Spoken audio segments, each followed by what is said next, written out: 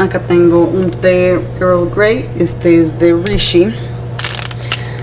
Em, este es un termo pero que no mantiene calor, entonces de hecho quiero hacer de una vez el té y dejarlo enfriar acá para ahora hacerme una bebida fría.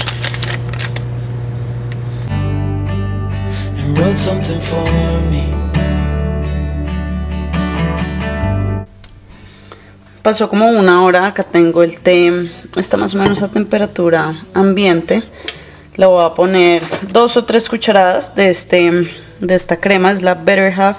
Siempre pronuncio mal el nombre, no es Califa Farms, sino Califia Farms. Esta marca de hecho la vimos en, en, Walmart en México cuando estuvimos en la Riviera Maya. Entonces cuéntenme si, si esto también se consigue en otras partes. Es libre de lácteos a base de coco y almendra. La verdad está bien bien rica.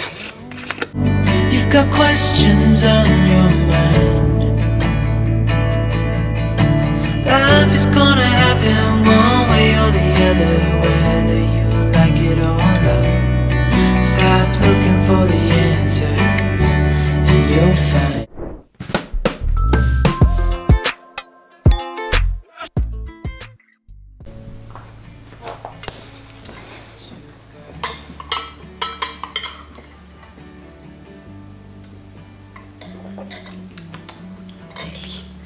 Hola a todos, soy Manu y bienvenidos a un nuevo video. Hoy es sábado 21 de marzo 2021, Bogotá, Colombia.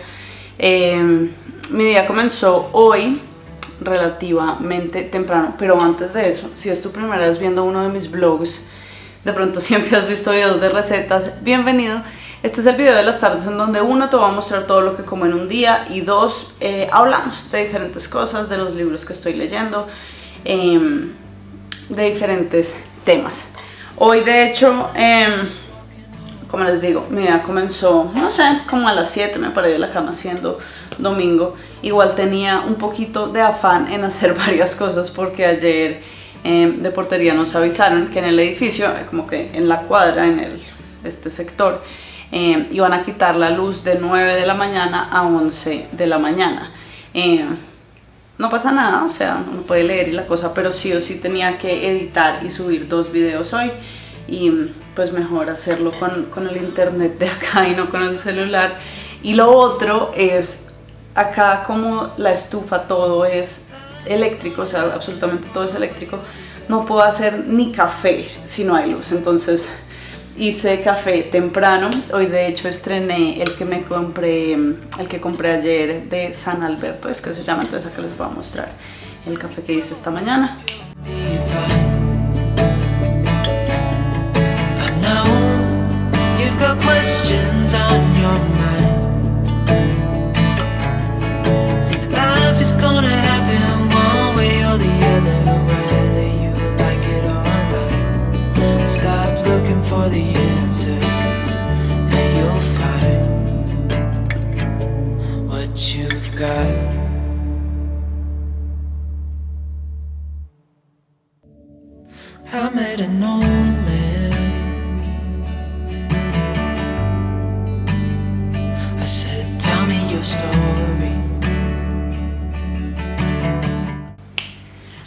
Un par de tazas, le, le guardé a, Carmen en, en, su termito también una taza para que lo pueda para que lo probara caliente. Esas tacitas blancas las compré en Starbucks en Florida y, son ganadoras, buenísimas, vale la pena completamente.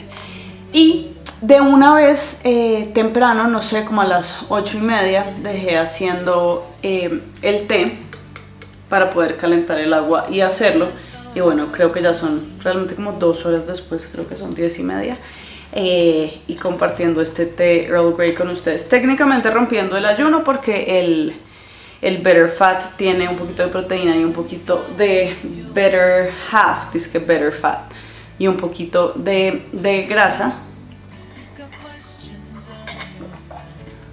Delicioso, pero todavía no, no sé, no quiero comer nada. Vamos a salir relativamente pronto a hacer una vuelta con, con Carmen y mi mamá, pero quería primero sentarme a hablar con ustedes. Número uno, eh, a compartirles que estamos a nada, a días, a días, a días ya.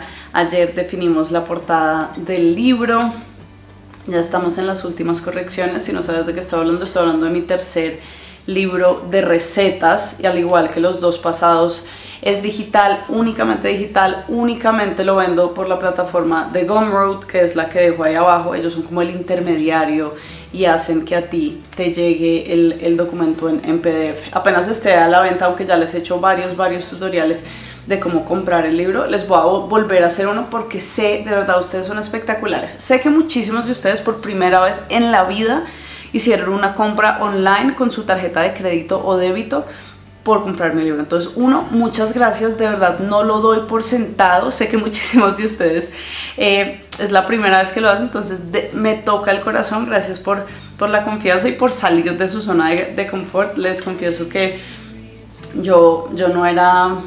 Yo no compraba tantas, tantas cosas por internet, aparte como de Perfect Hero y, y par de cosas pero cuando comenzó la pandemia hace un año y que literal hasta las tiendas estaban cerradas, le cogí un poquito de confianza a la cosa y gracias a Dios pues me ha, ido súper bien. Entonces les voy a volver a hacer el, el, tutorial porque es fácil, o sea, ustedes al hacer la, la, compra ponen su email, es importante que lo pongan bien sí o sí porque ahí es que va a llegar el correo de confirmación. En el correo de confirmación hay un botoncito que dice como ver contenido. Mi recomendación es que se bajen el libro cuando lo compren y no lo dejen ahí online.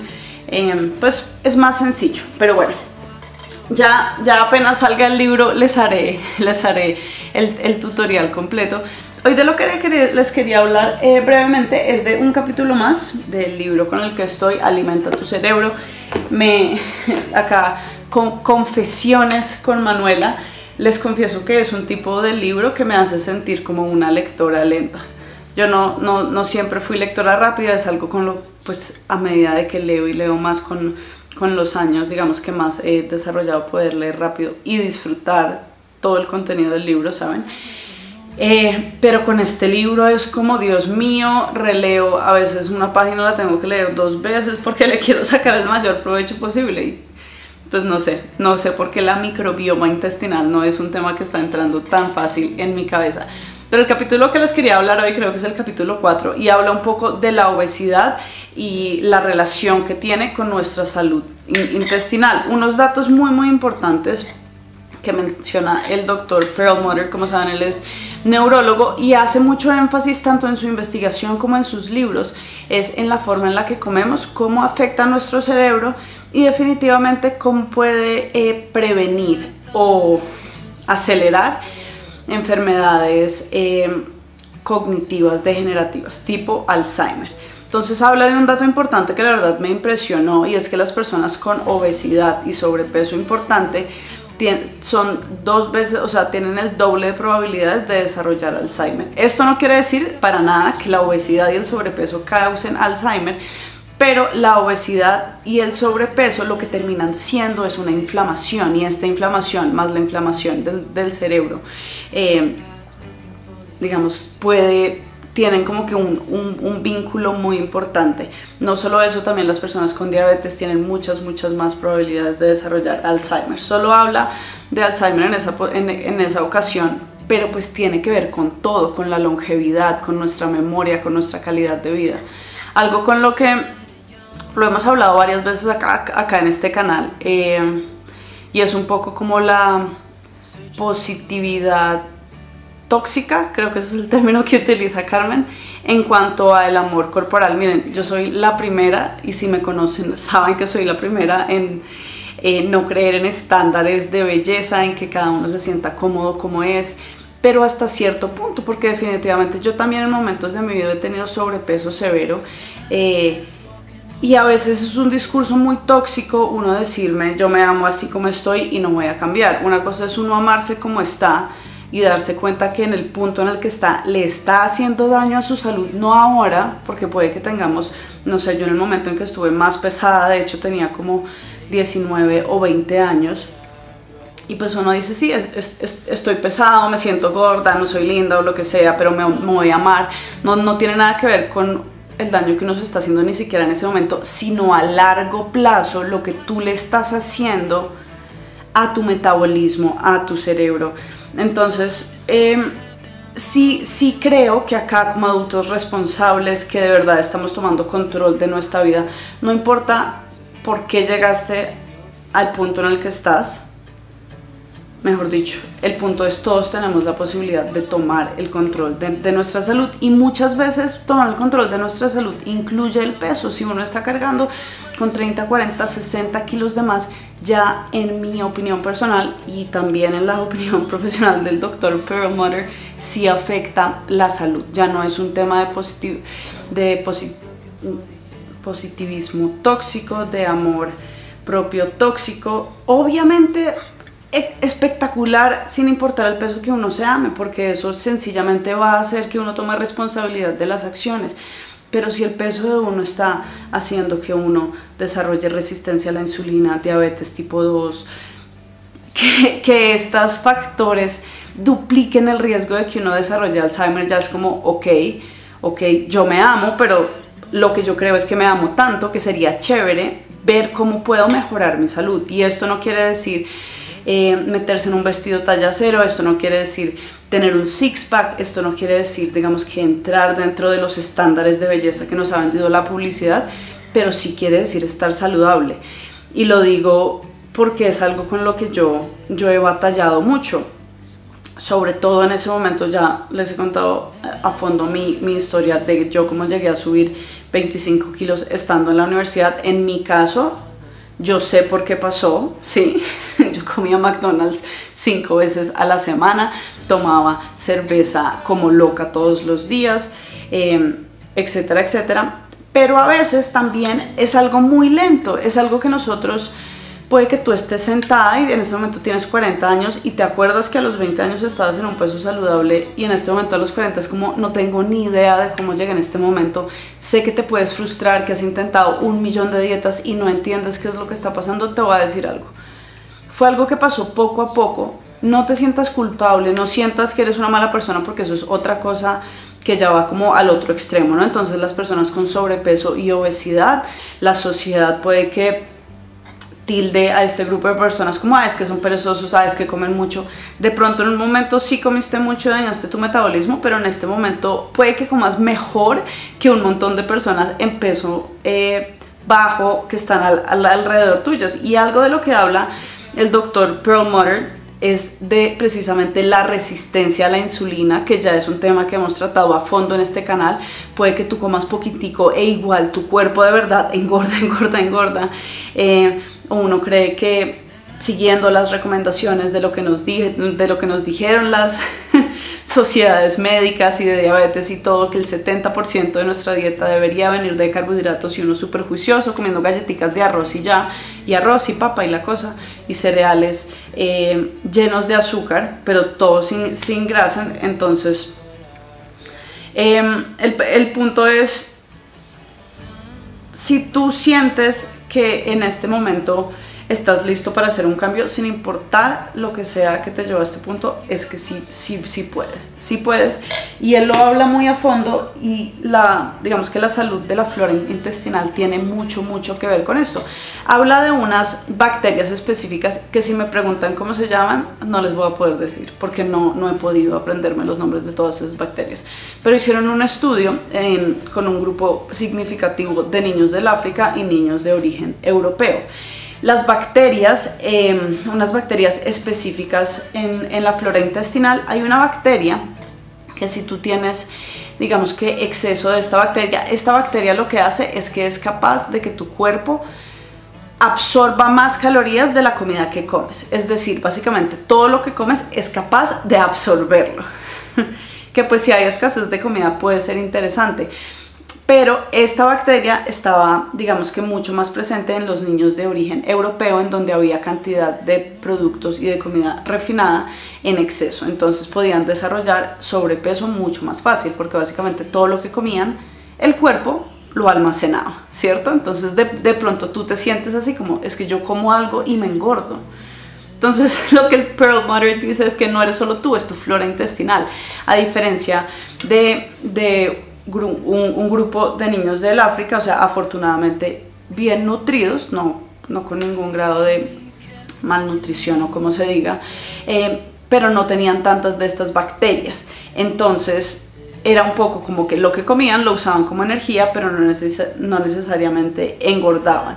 Y yo me pongo a pensar en esto y seguramente ustedes también conocen personas así, saben como que comen y comen y comen y lo que llaman como, ay, tiene un metabolismo rápido, pero si nos podemos a pensar, lo que él dice es que más que el metabolismo es que hay más o menos presencia de estas bacterias que o todo lo que comes saben sacarle las calorías o solamente sacan las calorías de algunas cosas que, que comes. Entonces se me hizo súper interesante y lo que él dice que va a explorar más adelante en el libro es como, bueno, yo acá les estoy diciendo todo lo malo, eh, todas las malas bacterias que tienes, tal vez muchas de las razones por las cuales no has sido capaz de controlar tu obesidad y sobrepeso, mucho de lo que él habla es tener dietas altas en carbohidratos, en gluten y en azúcar, entonces súper chévere porque los que seguimos estilos de vida bajos en carbohidratos estamos por un buen camino. Eh, pero él dice que más adelante como que va a dejar de dar malas noticias y va a decir como bueno, sin importar por qué tu flora intestinal está en, mala, en mal momento, eh, si hay formas de uno remediarlo. Entonces no sé, se me hizo muy interesante este capítulo. Eh, definitivamente cada vez más creo que está claro que lo que comemos es responsable de nuestra salud en general la, industria farmacéutica sigue y sigue y sigue intentando sacar una pastilla para adelgazar, o sea, invierte millones y millones y millones de dólares cada día, yo creo, intentando sacar esa pastilla mágica, pero definitivamente hasta el momento no existe porque pues al final del día somos lo que comemos y somos la forma en la que comemos y no solo la forma en la que comemos, sino los tipos de alimentos que, que decidimos. Hay una frase ya para cerrar que hoy me emociona mucho hablando de eso, eh, porque muchas personas, ¿cierto? Que de pronto tienen metabolismos súper saludables y de pronto nunca tuvieron problemas de adicción a la comida y de pronto no están saliendo de resistencia a la insulina y de pronto no están intentando controlar su diabetes o tienen alguna enfermedad crónica inflamatoria. Muchas personas tienen esta frase, no sé si estén de acuerdo, todo en moderación, la dieta perfecta es todo en moderación. Y la realidad, y lo que cada vez dicen más estudios, más, más doctores, no yo, sino personas que de verdad saben que yo simplemente replico lo que ellos dicen, es no, hay cosas que ni en moderación son buenas. Y es verdad, creo yo. No sé, los dejo con eso. Cuéntenme lo que piensan. Cuéntenme cómo está comenzando su semana. Ustedes van a estar viendo esto en martes. Mi plan confiando en los dioses del diseño internet. Y otras cosas es que mañana para ustedes, o sea el miércoles ya esté disponible para la venta el nuevo libro, pero les contaré, claramente les contaré, si todavía no me siguen en Instagram, síganme como arroba Manuela Echeverry, mi nombre completo y de punto, y ahí día a día soy súper intensa con un millón de historias contándoles todos los avances sobre eso. Entonces bueno, creo que voy a salir relativamente pronto les mostraré lo que como hoy y ahorita nos vemos. Llegamos a la casa de mi mamá y de almuerzo va a haber carne y aparte costillas de cerdo. Ya se hirvieron con bicarbonato mano o solo agua. Solo agua con sal.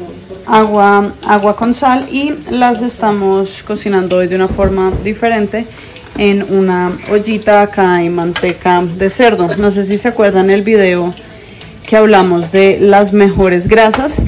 Obviamente aceite de oliva, aceite de aguacate, todas estas grasas em, de frutas, porque recordemos que tanto la aceituna como el aguacate son, frutas, son súper aceites, pero muchas veces se nos olvida que las grasas de origen vegetal, como el cebo de res o la manteca de cerdo, también son espectaculares, o sea, porque esto no lo da tal cual el animal, la naturaleza no tienen ningún tipo de proceso raro, también son grasas que se han usado por miles y miles de años, no solo para cocinar, sino para conservar productos, entonces de verdad no les dé miedo usar manteca de cerdo, también se consigue a super precio, el caso, hoy propaganda especial para la manteca de cerdo, las costillitas, voy a esperar ahí un poco y acá ya hay unas que están listas.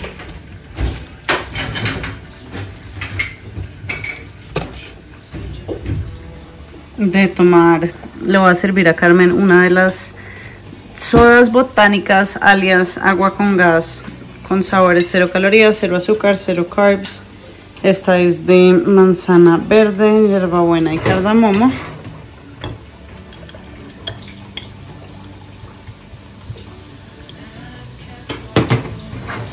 Y a mí me va a servir esta de jengibre.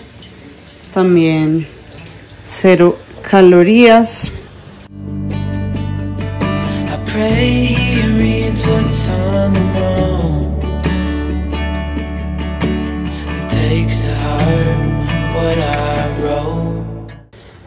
En cuanto a salsas les muestro lo que hay, que un chimichurri verde Acá mi mamá puso mayonesa sobre chipotles en adobo. Me dijo que lo mezclara. Acá está. Acá hay salsa barbecue por lo general. A menos que ustedes hagan su propia salsa barbecue o puedan conseguir salsas barbecue sin azúcar. Em, que cada vez hay más, pero normalmente una salsa barbecue normal va a estar llena, llena, llena, llena de azúcar. Entonces si ustedes están en un restaurante, eviten, si dice barbecue con salsa barbecue, 99.9% de las veces va a ser una salsa barbecue con bastante azúcar. En mi canal tengo receta de cómo hacer salsa barbecue, em, creo, de hace como dos años. Em, y de hecho tengo una versión mejorada de salsa barbecue que va a estar en el nuevo libro. Em, pero sí, normalmente la que se consigue tradicional tiene bastante, ah, bueno, miremos, acá está la que tiene mi mamá, mm, interesante, bueno, dice premium, baja en sodio, baja en calorías, pero si vemos por cada cucharada, tenemos 4 gramos de carbohidrato y 4 de azúcar, entonces pues es bastante, bastante azúcar, em, cada uno escoge, pero bueno, ya, ya saben, y esto es ají picante delicioso, terminemos de mezclar esto. Y listo ya les muestro qué más hay en el menú familiar de hoy acuérdense que siempre que yo les muestre mm, como lo que yo como en familia y eso a veces les muestro como lo que come toda mi familia y después les muestro mi plato de lo que yo me serví porque algo importante yo creo es que solo porque nosotros ya tengamos más información y comamos un poco mejor no quiere decir que nuestra familia vaya a hacerlo, ¿saben? Como cada uno lo hace a su ritmo, uno a veces puede ser ejemplo y ya. Entonces eso, por si alguna vez ven como una manzana, una yuca, una papa, pues cuando yo me la como yo les digo. Pasemos por acá a ver cómo van las costillitas.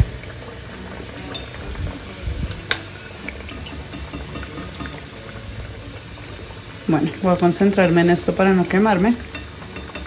Listo.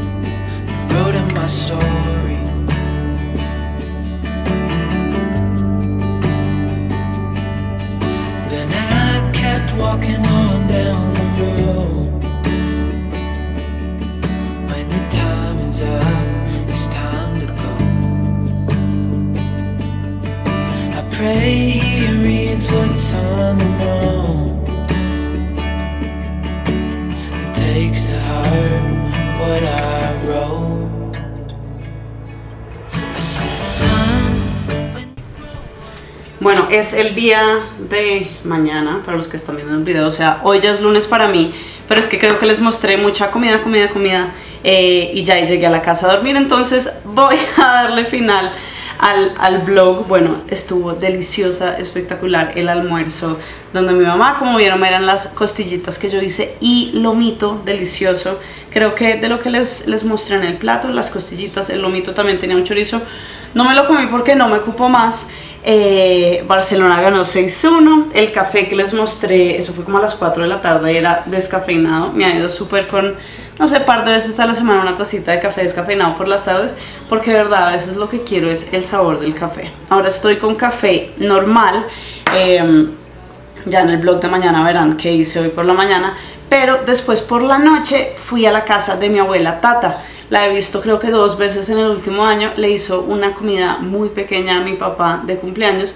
Fuimos solamente pues nosotros, eh, mi papá, Norma, la esposa, estaba mi abuela y su novio Mario. Eh, y fue súper chévere compartir. También fue lomo, entonces, mejor dicho, día bendecido de carne, doble porción de lomo espectacular. Eh, terminé de comer como a las 8 y media de la noche. Llegué acá, agua y ya. Creo que hasta estaba tan cansada que ni me tomé los electrolitos. Entonces, muchas gracias una vez más, como siempre, por ver el video. Muchas, muchas gracias por verlo hasta acá, de verdad significa todo para mí, gracias por verlo completo, por compartirlo. Eh, y ya, ya más de un año acá juntos, que, chévere. Y la verdad que sean muchos, muchos años más porque yo disfruto, disfruto hablar con ustedes eh, un montón, un montón, ustedes me enseñan y me comparten un montón a través de los comentarios y yo espero poder seguir haciéndoles y aportándoles así sea, no sé, 0.01% de felicidad a su día, ya con eso vale la pena seguir haciendo estos vlogs. Entonces, bueno, nos vemos mañana.